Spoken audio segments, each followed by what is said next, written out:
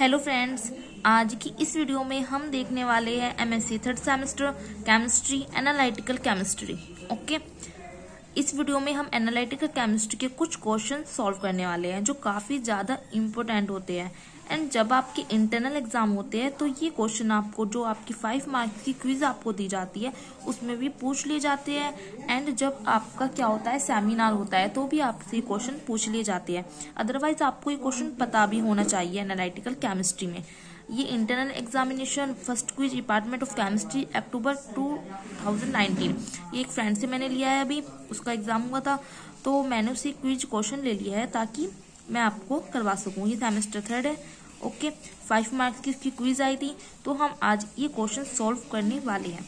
अगर आपको वीडियो अच्छी लगती है तो फ्रेंड प्लीज़ लाइक करें एंड कमेंट्स करके बताएँ आपको वीडियो कैसी लगी है। एंड अगर आपने मेरा चैनल सब्सक्राइब नहीं किया है तो प्लीज़ आप सब्सक्राइब कर सकते हो। क्योंकि मेरे चैनल पे आपको जो एमएससी कर रहा है, उससे केमिस्ट्री के सब आपको नोट्स मिल जाएँगे। केमिस्ट्री के अलावा आपको eleventh twelfth and ninth tenth इन सब के भी आपको नोट्स प्रोवाइड हो जाएँगे। तो चलिए हम वीडियो स्टार्ट करते हैं। आपके देखिए, आप देख सकते हो आपको टेन क्वेश्चन दिए हैं तो इस वीडियो में आज मैं आपको ये टेन क्वेश्चन बताने वाली हूँ। फ़र्स्ट जो आपका क्वेश्चन है, वो क्या है आपका? Give one application of deep crucible आपको जो डीप क्रूसिबल होती है, जो आपकी टीजीए में यूज़ होती है, जो मैंने आपकी टीजीए डीटीए ये सब क्या होती है, सब टेक्निक क्या होती है इस पर ऑलरेडी वीडियो बना दी है, आप जाके प्लेलिस्ट में चेक कर सकते हो। तो आपको क्या करना है? इसमें पूछा एक एप्लीकेशन देनी है आपको डीप क्रूसिबल के बारे में कि डीप क्रूसिबल का यूज़ होता कहाँ है। ओके तो मैंने देखी, आप देख सकते हो, मैंने सारे क्वेश्चन इस तरह से प्लेन पेपर पे पुटअप कर दिए हैं। फ़र्स्ट क्वेश्चन मैंने बताया था आपको डीप क्रूसिबल के एप्लीकेशन तो deep crucible are used as sample holder जो डीप क्रूसिबल है, वो यूज़ होते हैं सैंपल होल्डर की तरह।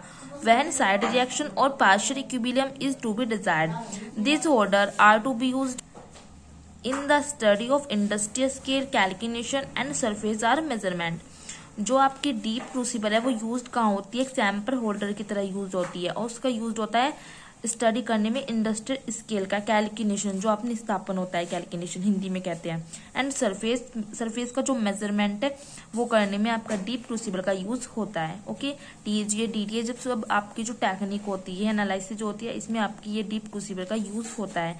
एंड क्रूसिबल आपकी जो आपकी काफ़ी टाइप्स की होती है। तो फ़र्स्ट क्वेश्चन आपका हो जाता है हाफ़ नंबर का सिर्फ़ आपका एक क्वेश्चन है, इसलिए इतना सफिशियंट होता है लिखना। सेकंड क्वेश्चन आपका आता है write the name of apparatus used in DTA उस एपरेटस का नाम आपको लिखना है कौन कौन से एपरेटस यूज़ होते हैं आपकी डीटीए टेक्निक में।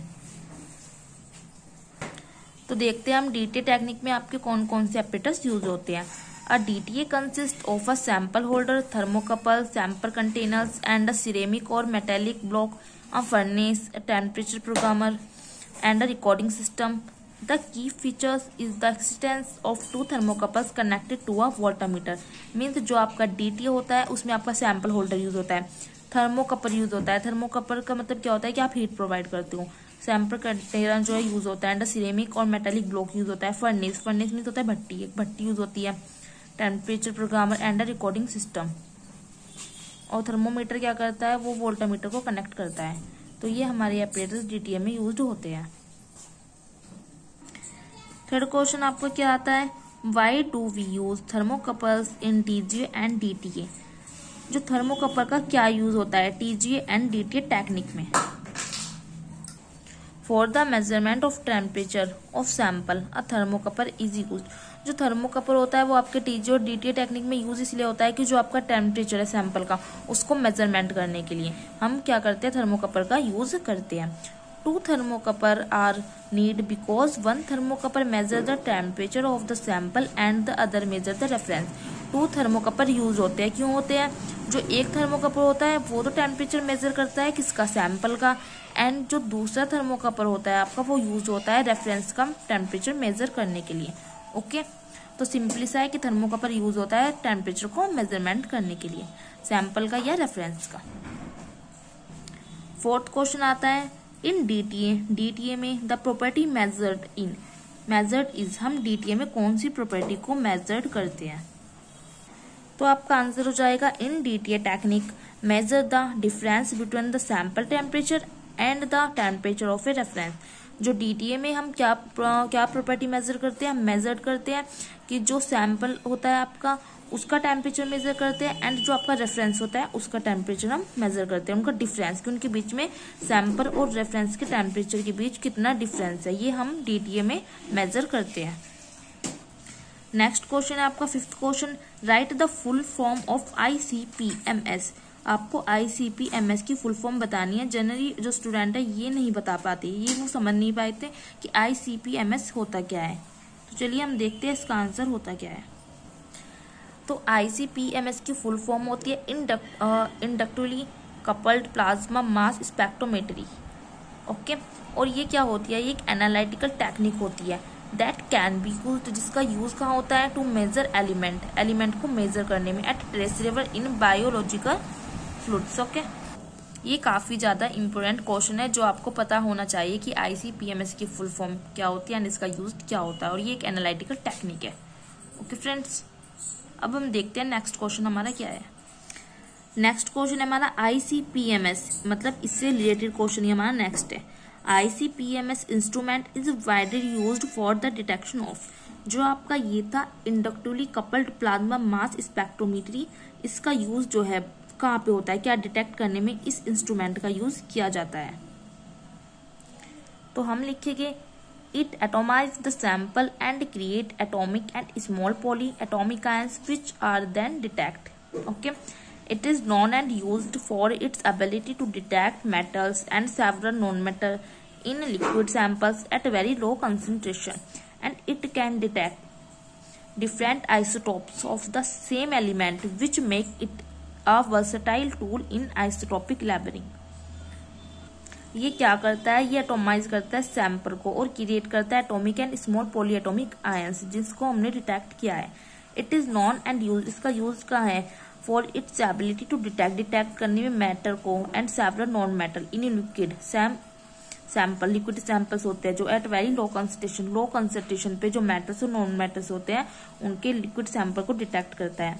एंड आप यहाँ से भी लिख सकते हो कि इट कैन डिटेक्ट ये डिटेक्ट करता है different isotope of the same element same element के जो डिफरेंट आइसोटोप होते हैं, उनको ये डिटेक्ट करता है which make it a versatile tool in isotopic labelling okay तो हम कह सकते हैं इसका यूज़ जो होता है, वो सेम एलिमेंट के आइसोटॉप को डिफरेंट आइसोटॉप को डिटेक्ट करने के लिए होता है ओके नेक्स्ट क्वेश्चन आता है in the gravimetric analysis of nickel DMG is used gravimetric analysis करते हैं, जब हम निकल का तो उसमें डीएमजी यूज़ होता है।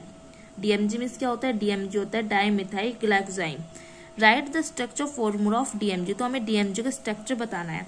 अगर आपको डीएमजी के बारे में डिटेल से देखना है तो मैंने ऑलरेडी वीडियो बना रखी है, आप प्ले लिस्ट में जाके चेक कर सकते हो। ओके तो चलिए, हमें स्ट्रक्चर बनानी है डीएमजी की। फ़र्स्ट ऑफ़ ऑल आप लिखोगे डीएमजी की फुल फॉर्म क्या होती है? Dimethyl glyoxime is a chemical compound describe by the formula और डीएमजी का फॉर्मूला होता है C H three C N O H C N O H C H three okay देखिए, इसने स्ट्रक्चर फॉर्मूला पूछा है बट क्या होता है? क्वेश्चन को लिखने का एक तरीका होता है कि फ़र्स्ट ऑफ़ ऑल पहले आप उसे बता दो कि डीएमजी की फुल फॉर्म है क्या? डीएमजी है क्या?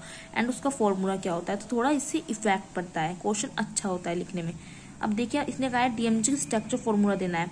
तो आपने इसकी स्ट्रक्चर बना दी है डीएमजी की ओके इसने हमने निकल डीएमजी की रिएक्शन करवाई है। निकल से तो कुछ इस तरह निकल डीएमजी आपका फॉर्म हो जाएगा इसके स्ट्रक्चर ओके तो अगर आप क्वेश्चन में आंसर इस तरह लिखते हो तो जो आपकी कॉपी चेक करते एग्जामिनर काफ़ी इंप्रेस हो जाता है कि काफ़ी अच्छा क्वेश्चन लिखा है। ओके ये आपका बीच में निकल है और यहाँ पे नाइट्रोजन ये अटैच इससे और दो कोऑर्डिनेशन कंपाउंड बनाने हैं आपको यहाँ पे। मैंने बनाए नहीं, आपको दो कोऑर्डिनेशन कंपाउंड दिखा देने हैं। ये आपका निकल है बीच में ओके अब देखते हैं हम eighth question in polarography polarography में द प्रॉपर्टी मेजर्ड इन कौन सी प्रॉपर्टी जो है मेजर्ड की जाती है पोलरोग्राफी में? इसका आंसर क्या हो जाएगा? Polarography is an electro analytical technique ये एक इलेक्ट्रो एनालिटिकल टेक्निक है दैट मेजर जो मेजर करती है the current flow between two electrodes in the solution to determine the concentration of solute and its nature respectively. Polarography क्या है? एक electro analytical technique है, जिसमें हम क्या मेजर करते हैं कि टू इलेक्ट्रोड्स के बीच जो करंट फ्लो होता है, उसको हम क्या करते हैं? डिटरमाइन सॉल्यूशन है, कोई सॉल्यूशन में हमारे टू इलेक्ट्रोड्स लगे रहते हैं कैथोड एंड एनोड उनके बीच जो करंट करंट करंट फ्लो होता है, उसको हम डिटरमाइन करते हैं पोरियोग्राफी में ओके नाइन्थ क्वेश्चन पूछा है write the formula used in Q test Q test के लिए कौन सा फॉर्मूला यूज्ड होता है? आपसे ये पूछा गया है। राइट right, तो क्यू का फॉर्मूला जो होता है वो होता है क्विस्टा वैल्यू क्योंकि जो फुल फॉर्म होती है क्विस्टा वैल्यू आप लिखोगे एंड माइनस कर दोगे उसमें से nearest value and divided by largest value mean most value आप डिवाइड करते हो. तो ये आपका क्यू का फॉर्मूला हो जाता है. सिर्फ़ इसमें फॉर्मूला ही पूछा जाता है. ये नहीं पूछा जाता कि क्यू टेस्ट होता क्या है ओके साइड टेस्ट और एफ़ टेस्ट क्या होता है इस ऑलरेडी वीडियो बन चुकी है. आप प्ले में जाकर चेक कर सकते हो एनालिटिकल केमिस्ट्री के प्लेलिस्ट में ओके मैंने हर सब्जेक्ट की अलग अलग प्लेलिस्ट बना रखी है। MSc third sem fourth sem analytical organic inorganic इस तरह से ओके आप जाके प्लेलिस्ट चेक कर सकते हो। अब आपका नेक्स्ट और लास्ट क्वेश्चन क्या आता है? Write the formula to calculate confidence interval जो कॉन्फिडेंस इंटरवल होता है, उसका आपको फॉर्मूला लिखना है ओके ये क्वेश्चन अगर आपने पढ़ाया तो आप फॉर्मूला लिख दोगे अदरवाइज़ आप नहीं लिख पाओगे कि इसका फॉर्मूला होता क्या है।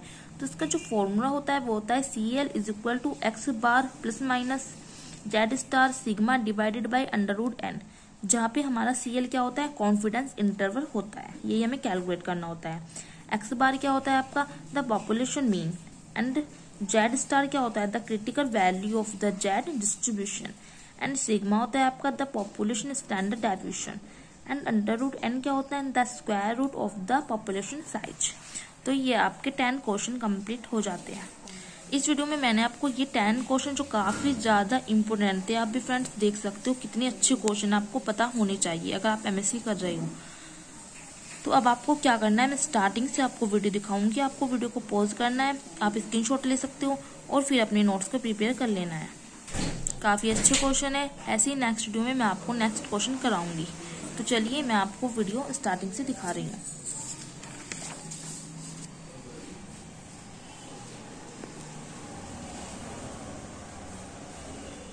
आप स्क्रीनशॉट ले सकते हो या वीडियो को पॉज कर सकते हो और अपने नोट्स को अच्छे से प्रिपेयर कर सकते हो। काफ़ी ज़्यादा अच्छे और इम्पोर्टेंट क्वेश्चन है और आपसे प्रैक्टिकल वाइवा में भी ये क्वेश्चन पूछे जा सकते हैं।